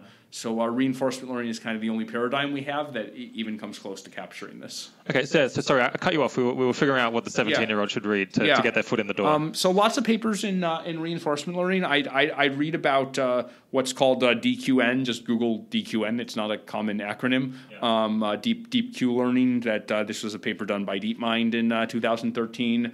P- p- um, p- policy gradients on particular A3C, and just kind of follow the trail of recent reinforcement learning things that have showed up on arXiv. Um, just go to R machine learning on Reddit and look at some some kind of re, you know recent papers in the deep deep neural net literature. Look at them, try and re-implement them, see if you can get results as good as the results that, that others get. It's really pretty self-contained, and you don't need uh, that much help. If you're having trouble getting started implementing them, then um, you can start by, for many popular papers like DQN, you can find an existing implementation, then start with that and try to fiddle with it to see if you can make it better. Yeah. Um, and what, what kind of program are you running? Presumably you're not doing this in Excel. What's the? No, it's um, you know, uh, t- t- uh, t- typically you know you'll use uh, uh, the the typical is uh, you know Python with uh, TensorFlow. So Ten- TensorFlow is this this tool that the Google Brain team made for um, you know for for doing general computations, but in particular deep deep neural net computations. Um, and so you'll find a, a, large fraction of the stuff is implemented in uh, in, in TensorFlow or some some similar framework. So uh, you know P- Python's pretty easy to learn. TensorFlow is pretty easy to learn. So uh, you know read some TensorFlow code of some stuff that's been implemented. Learn TensorFlow and implement some stuff yourself. Okay. Great. Yes. So, so, what's the what's the range of roles available? Is is yeah? How do they how do, how do they vary? Okay. So uh, you're talking about within machine learning or within safety related stuff? Uh, I guess mostly within safety. I think. Okay. Yeah. So I mean, you know, I can I can talk about what's being done here at at OpenAI. I would say there's two main uh, directions. There's the technical safety stuff, yeah. and there's um, you know the uh, the kind of uh, you know po- policy side of things. Um, mm-hmm. So on the te- technical safety, uh, you know, there's not a lot of people working on it yet, but you know, the human preferences paper that that I showed you is a good example of it. A lot of the papers we cite in Concrete Problems are uh, good examples of this work. Uh, DeepMind has had some recent uh, good good examples of of of um, of safety work. I think the skill set, as I said, is very similar to the typical machine learning skill set, but you know, you should also be willing to work in a field that has relatively sparsely populated literature, which means coming up with your own ideas or uh, you know, or working very closely with someone who's you know one of the people generating the the, the ideas in the field. Yeah. Um, so you know that has some downsides in that uh, you have to set more of your own direction, but it also has some upsides in that you can be one of the first people in a, in a totally new field. Mm. Um, and you know I, that, that's what excited me about writing writing concrete problems. Right, I'm like uh, you know I could work on something that 200 other people have worked on, or I could try and set a new direction. And maybe maybe it won't be exciting at all, and uh, and you know oh well at least I did something interesting. Um, or or um, you know uh, uh, maybe it's uh, you know maybe it turns out to be to be really exciting, and that's like a bet that I that I'm perfectly happy to take. Okay, so what would you recommend to someone who was considering entering the AI safety industry, doing uh, machine learning work, uh, but they're worried that they're not going to have such great uh, long-term career options elsewhere, especially compared perhaps to, to doing machine learning work in a, in a more commercial way with less of a safety focus or, or just going into whatever kind of pays the most or has the best career? So I think ML work is so hot right now that um, you know anyone who goes into it, particularly on the fundamental research side, it's easy to transition to applications. And I think the kind of safety work that we're doing has many of the same skills uh, as you know any other area in machine learning, even though the subject matter is very different. Um, and so I think you know some someone who does that is going to be in a very strong position um, to do very well in the future. Um, and you know I think it's it's probably you know, even if you're going into it for altruistic reasons, it probably just also happens to be one of the most secure, you know, career financially secure career career areas you could you could go into. I mean, you know, we uh, recently had someone leave OpenAI who became uh, head of head of AI at Tesla, like head of head of all of AI, reporting directly to to Elon Musk. Wow. Um, so. Um, you know, I mean, uh, I, I, I myself want to stay at OpenAI and, and, and work on I work on safety. You know, I want to keep keep working on the research end all the way until until we get AGI, whenever whenever that is. But if I didn't want to do that, if I if I if I if I wanted to leave, you know, there's like plenty of wonderful things that that that that I can do, and you know, the same will be true of other people who come here. Right. Is it more of a concern for people who would say be working at, at MIRI doing doing non-machine learning safety research? Yeah, I mean, I think uh, you know most of the people there are, are you know smart people who who uh, who uh, either had or could have you know really great careers as uh, as as software engineers. So they probably have you know great great great options as well. I, generally get the sense you know people who uh, who who go to MIRI are really passionate about MIRI's mission in particular and mm-hmm. tend tend tend to worry about this less. Yeah. Um, but uh, yeah, I mean, it, you know, it's it's it's it's de- the the amount of kind of buzz and hype is definitely not as high as it is for you know the machine yeah, learning machine world. learning approach, right? Um, so yeah, pretty often we talk to people who are say in, in their mid twenties and, and, they did a, a fairly quantitative uh, degree, maybe like economics or you know logic, um, but but they don't but they don't know machine learning in particular. Is it possible for them to, to retrain to, to get into this, or, or is it all just, just over for them at, at 25? Yeah. So I mean, you know, my my own example is you know until I was uh, 28 or 29 or something, like I, I, hadn't done any any machine learning. So it's it's definitely possible to do this. Yeah. Um, my my main advice is the same advice that I'd give to you know like the the 17 year old that we talked about earlier, mm. which is just just uh, implement as many models as you can as, as quickly as you can, um, just to see if you know, if you have the knack for it and you, you really enjoy doing it, because this is going to be, you know, greater than 50% of what, of what, of what your job consists of. Just, mm. you know, knowing how to have the real intuition to, to implement neural net models and have them work, how to put together new architectures that do new things, um,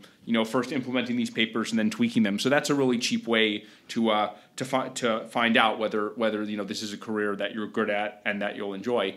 Uh, I wouldn't recommend like going back and doing another PhD in machine learning. I think you know once you have a PhD, like there are some positions where Google wants you, for instance, wants you to have a PhD when they hire you, but uh, you know they don't really care what what area it's in. They they do want to know that you're like committed to some new area that you want to go into, but uh, you know it's more important to like you know, for the pla- for the places that care about, you know, whether you have a PhD, which we don't care that much, but even yeah. for the places that care, I think it's more important that you have a PhD than that you have it in some particular field. Right, right. So if you already have a PhD in philosophy, then you yeah. should just go and learn ML directly, or do, do, some kind of like, internship somewhere. Yeah, I, I would I would say learn learn ML, you know, implement a bunch of models, then go do an internship or the brain residency program at Google, or you know, come do an internship with us or at DeepMind. Uh, all, all, these all these are uh, all these are viable options, and each step gives you a better idea of whether this this you know whether this career path is really for you. Mm.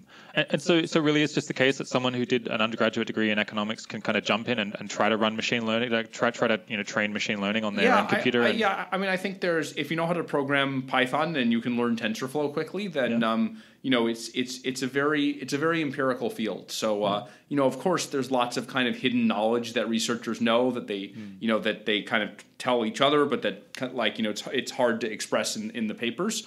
Mm. Um, and so you won't pick up on on everything, but you can certainly get started this way. Yeah. Um, and then uh, you know talking to people about about models models you've implemented, talking to professional researchers, uh, you know to to get a sense of uh, you know what's an exciting thing to, to work on next. Uh, you know that's kind of enough to, to get you started. Yeah.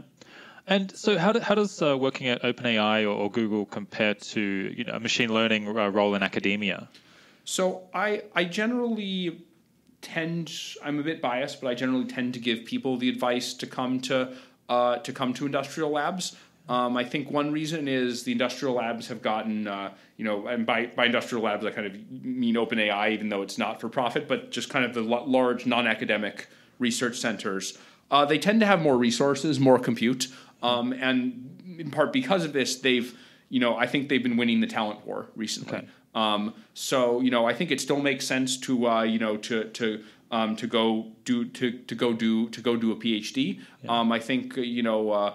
Um, staying in academia your whole life. I mean, I guess if you become a professor, then it becomes a lot easier to collaborate with mm. uh, with um, the industrial labs. So you know, both we and DeepMind have uh, you know people who were our professors and spend part of their time there and part of their time here. Mm. Um, so it's all it's it's kind of all very feasible, and there's a lot of mobility between the two. But in general, I've I've felt you know, many people will disagree with me, but I felt that you know the most groundbreaking work has tended to happen at the industrial labs, and you know over the last uh, couple of years at least. Yeah, interesting. Um, is there any effort to, to, to, change that? Are universities trying to catch up, or, or is it just too expensive? yeah, I mean they the they, they are. You know, there's uh, Yoshua Bengio's group in mm-hmm. uh, in um, in in Montreal is you know is is quite large. He's one of the few you know major figures in deep learning who's kind of resisted the pressure to, mm-hmm. to go into the industrial world, and his lab does you know a lot of a lot of great work. Uh, Pieter Abbeel at Berkeley, Percy Liang at uh, at, at Stanford and just kind of a number of others, including folks who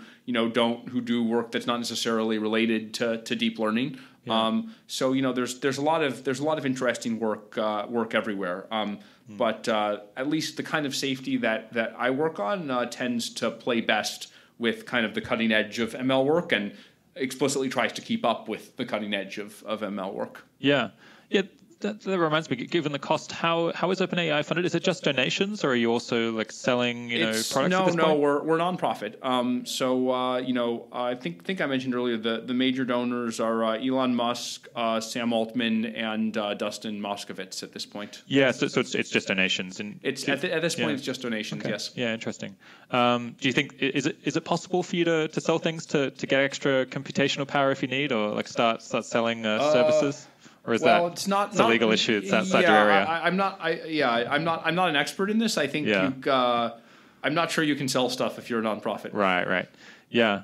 So is the is the work frustrating because you, you're not sure whether solutions actually exist and you can you know beat your head against a wall for, for quite a while before you, you figure out well maybe that there isn't even a way of solving it the way that you thought? Yeah, so I think actually that's the case in uh, any any area of machine learning where you're trying to do original research. If you're trying to do something worthwhile, then uh, you don't already know if it can be done, and you have to try stuff that seems crazy and. Yeah. Uh, you know it might not it might not work. So it's true of any area. I think it's especially true of an area that's very new, like like uh, like like AI safety. And um, so yeah, I definitely agree that uh, you know one of the trade offs for working in, in AI safety is like you know on one hand you have this exciting ability to work on you know a new field that's just starting and that could be very impactful, but uh, at the same time, uh, you know no one's kind of defined, you know, what what's what successful work looks like. Um, you know, we're still kind of laying out what the problem is, what the problems are, and what the work is that needs to be done. So, uh, you know, I think um, it, it definitely, you know, kind of requires an attitude of being willing to, you know, kind of, you know, define do, do more to define problems yourself and you need to be kind of kind of more creative instead of doing something that's you know that's an incremental improvement on the thing um, the thing that was done last. But you know, but that that's you know, I, I to me that's a good property. Yeah, yeah. So so is it is it a good kind of role for someone who has a lot of grit and you know willingness to persist with things uh, despite adversity? Is that yeah? I mean, I think they're pioneering yeah, a new area. Yeah, I mean, I think that uh, I think that quality is, is useful in any in any you know important or, or original work, um, yeah. and and it is here as well. Yeah. All right, so so turning now to non-machine learning approaches to tackling you know the, the problems in, in AI safety, uh, what kind of non-technical approaches do you, do you see as promising? I, I interviewed uh, Miles Brundage at the Future of Humanity Institute uh, recently. Uh, do you have a view on any of the of the AI policy topics that we spoke about? Yeah, um, so I don't I don't know precisely what what you guys spoke about, but um, um, you know uh, you know, I spend a little bit of my time speaking about the, the relevant policy issues. So I think, um, you know, um, you know, if if the humanity at some point builds builds AGI, then we're going to have to think about you know both how to handle safety issues as we're building it, yeah. um, and some of the co- coordination issues that are going to come up with respect to safety, and also the question of uh, you know who uses it, what it's used for. Yeah. Um, you know, um, one one example of this is you you can imagine that um, you know maybe if it's possible, a really good way to build AGI would be to build an AGI instead of doing anything with it in the world. Um, try and, if it's possible, first develop a capability to have it advise you on the situation you've put humanity in by building it. Right. Um, yeah. And say, look, like we've just opened this can of worms by, by creating you. Uh, yeah. Can you analyze our strategic situation and say what we should do? Because we're, we're kind of aware that uh, you know if we if we don't if we don't use you in the right way or we hand you to the wrong person, then it could, could be really bad for humanity. Yeah. Um, so if we were able to turn the problem in on itself that way, right, right. Um, that, that would be really good. And that's partially get, get, get the AI yeah. to make the world safe for AI. Yeah, it's yeah. it's partially a technical question and it's partially a policy question, which is how right. do we get ourselves in a situation where we can do that? I, I think that um, you know there's a lot of players. There's going to be more AI organizations you know government actors will someday have have something to say about uh, about about AI. Um, I mean, they already have something to say about AI. Someday they'll have something to say about about AGI. Yeah. Um, you know, when when when we're more in a world where where AGI is is going to happen. Um, and so, what what strategies should we take towards towards you know towards all of these actors? How do how do how do we make sure that when everything's put together, it leads to a good outcome? And uh, you know, and and is there anything we can do today? uh, to deal with these you know th- these kind of distant distant problems.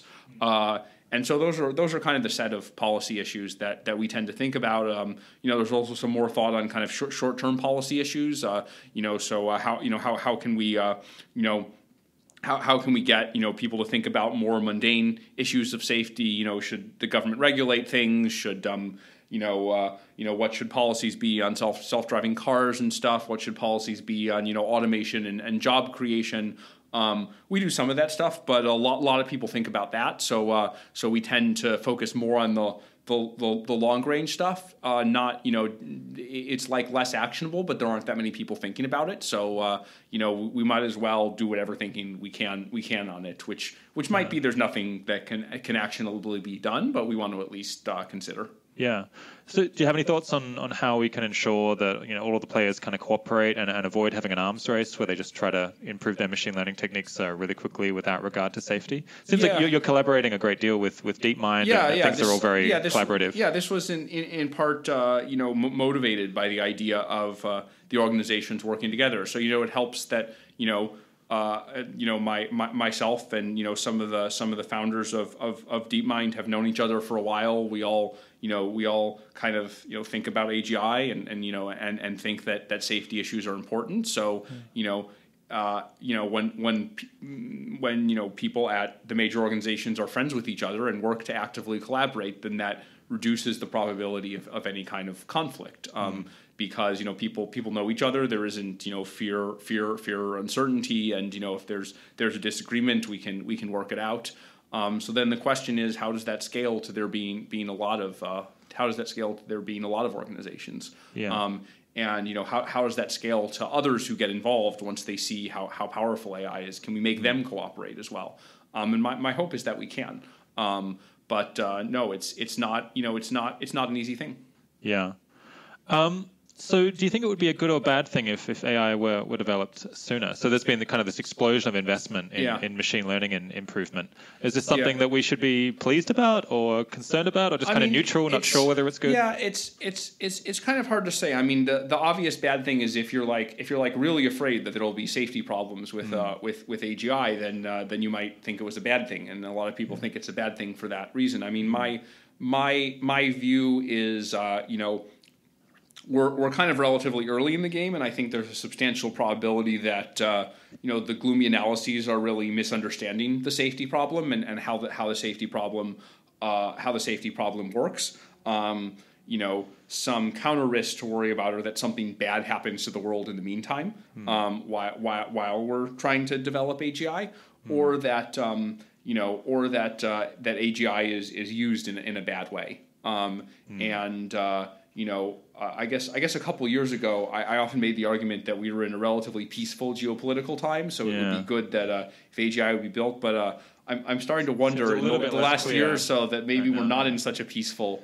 Ge- yeah. geopolitical state. Um, yeah, as, as, we're recording this, everyone is flipping out about North Korea developing uh, intercontinental ballistic yes, missiles. So. Yes, no, I mean so. these these things are pretty deeply concerning. Um, yeah. You know, we uh, we there's been a lot of political instability in the rest, Western world in, yeah. in, in the last uh, year, and uh, you know, aside from the usual reasons why this might make me unhappy, it's it's made me unhappy because it, it, it creates a less stable political environment yeah. in which uh, in which AGI would happen. So so I don't know. I mean, I, I will say, I you know, I think I think I think we're better off if AGI is developed in a stable political environment with leaders who are intelligent and have reasonable views. Mm. Um, and so I'd like that to happen. And I, I, no longer know whether that means that AGI, whether that means AGI should happen or, soon or, yeah. or that it should happen in, in a long time. I guess it depends whether the current trends. Uh, the current trends that we're seeing in the last year continue, or if they're only a blip. If they're only a blip, then uh, you know it d- doesn't matter. In a few years, we're back to where we are before. But if mm. if we're on a general trend in like trend. In, in, a bad in a bad direction, then uh, you know, then uh, then maybe it, maybe it's bad to wait too long. Yeah. Um, I guess it's a difficult thing to. Time. Yeah. So so I think it's I think it's I think it's pretty complicated. Um, and I think uh, you know I think pure pure safety considerations tell us that it's always it's always good to have more time. Although you know at the same time some of the hardest safety problems to solve may be problems we can't solve until you know the last couple of years until we build AGI. So so in that case, uh, you know delay delay doesn't really help doesn't. us. It just kind of delays the crunch period that right, we'll have to right. face. Uh, uh, um, because it's like someone uh, trying to finish an essay by a particular deadline. If, yeah, if they know they're only going to do it the night before, yeah, then, yeah, yeah, yeah, yeah. It doesn't much matter when the deadline is. It doesn't doesn't much matter when the deadline is. Um, so uh, I, I think I think it's a complicated question. I mean, my it's it's not a variable that I have a lot of control over. It's yeah. you know it's happening at the field level, so I, I prefer to try to control variables that I have some Focus control what over. You can change, yeah. One thing I have control over is that it seems like there's at least some safety work that can be done now. Um, and so I'd like to do it. And it seems like uh, there are some ways that different AI organizations are not collaborating now. Um, yeah. That they that you know that we can encourage them to collaborate, and so I've also been been working on that. Um, and and I think those uh, I think those efforts have been successful, and so I feel like you know it's been good to cause things to happen that wouldn't have caused otherwise. But then there are all these other things that I feel like I have no control over whatsoever. Yeah.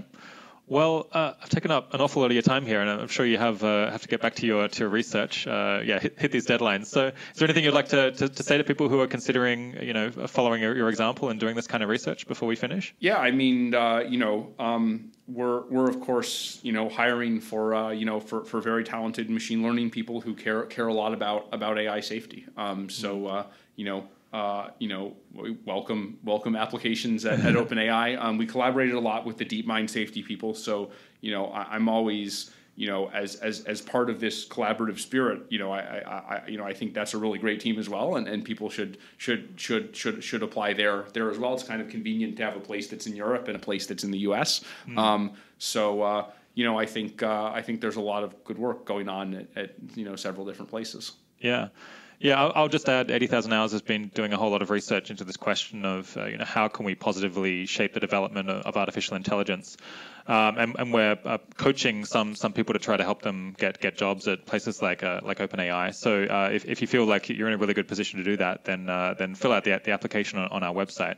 Uh, we think it's it's one of the most uh, high impact roles that, that someone could take if, if they're able to do it, which is one of the reasons why we've you know we've looked into it so so much. Hopefully over the next few years we'll, we'll see quite a lot more people go into this field and, and it won't be so neglected and, and we can we can be a bit more relaxed about it but it's been fan- fantastic to, to, have you uh, on, on the show, uh, Dario. Yes, um, thanks, thanks for having me. Ho- hopefully, we can we can check back in in a couple of years and find out what, what OpenAI has been up to, and, and hopefully you've found lots of lots of new talented people to, to work in the area. Hopefully. Fantastic. All right. Thanks so much.